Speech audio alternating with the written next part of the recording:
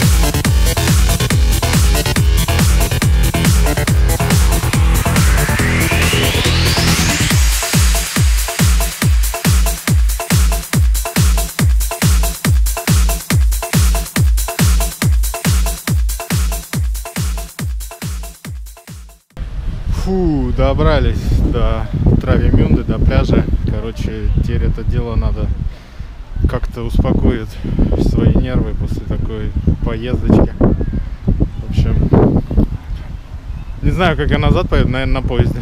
Да, в общем, короче, это самое, ветерок сегодня такой, он, Леха говорит, такого ветра на автобане еще никогда не, не встречал. Короче, рвало просто, вырывало, я не знаю, мне голову чуть не оторвало вместе со шлемом.